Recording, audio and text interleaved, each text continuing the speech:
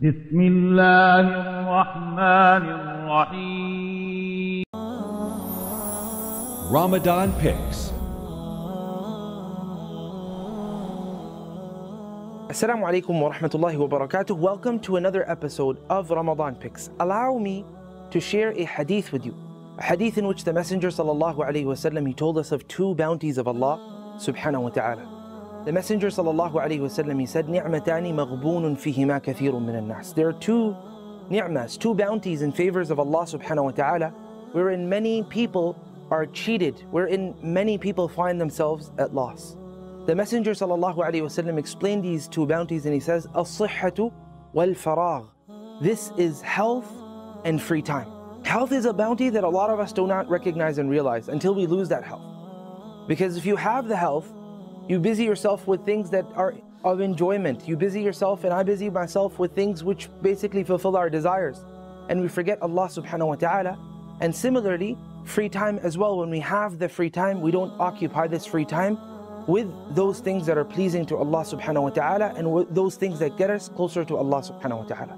These days are days which are really beloved to Allah subhanahu wa ta'ala. These days are days which are days in which you can get really close to Allah subhanahu wa ta'ala, days in which we all can gain atonement for our sin.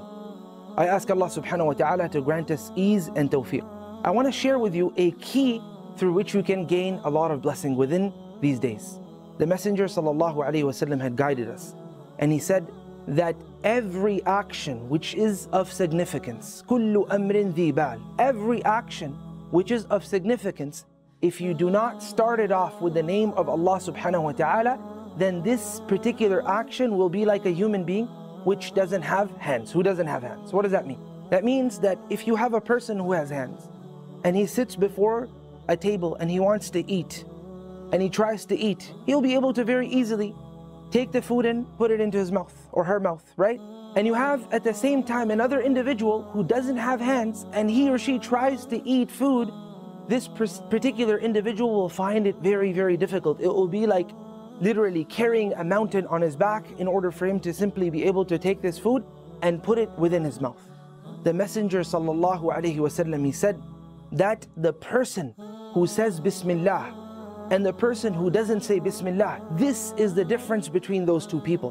One of those people will be able to accomplish so much all because of the fact that he had gained the barakah he had gained the blessings from the name of Allah subhanahu wa ta'ala. Indeed, of a surety, all blessing comes from Allah subhanahu wa ta'ala, Rabbul Izzati wal Jalal. So if you want blessing within your time, then start off your actions in the name of Allah subhanahu wa ta'ala. Finish off your action with the name of Allah subhanahu wa ta'ala and recognize that every one of your action, not just being verbalized in the name of Allah, but they should be done for Allah subhanahu wa ta'ala.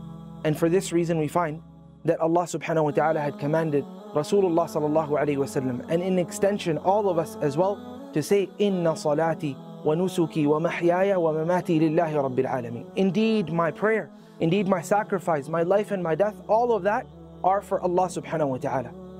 Many a times we see stories of the salaf. Some of these stories share with us that one of the salaf he ended up reading the Quran. One of our pious predecessors he ended up reading the Quran entire Quran in one day or better yet, an entire Quran in one rak'ah, or better yet, an entire two Qurans in one day, and so on and so forth. And then we look at this particular example of one of our pious predecessors and we say, Subhanallah, how did that even occur? Maybe this is just a fable, maybe this is just a made up story.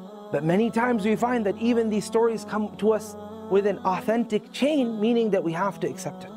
So, how do we reconcile between the time that we have and between the stories that we are gathering and hearing? The way to understand that, my dear brother, my dear sister, is that there are people amongst the people of Allah subhanahu wa ta'ala who Allah has blessed in their time. And you know what blessing is? Blessing is like water. Literally. The word barakah comes from the word birka, which is a pool. You see, when you take a pool of water and you fill it up with water, what happens? This pool becomes very, very steadfast and strong. And it becomes very difficult for you to empty this pool out with any with all of the water therein, right? So if Allah blesses your life with divine aid, Allah fills your life up with divine aid, then your accomplishment and the level of that accomplishment will become very, very great.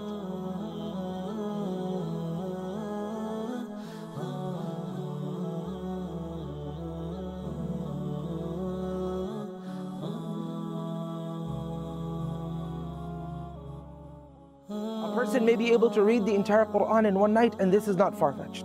Another may be able to do it in one rak'ah, and we have reports of that.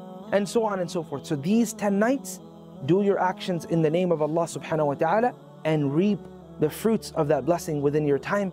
I ask Allah subhanahu wa ta'ala to grant you ease, grant us all ease, grant us tawfiq. I ask Allah subhanahu wa ta'ala to help us make the most of these nights. جزاكم الله خيرا والسلام عليكم ورحمة الله وبركاته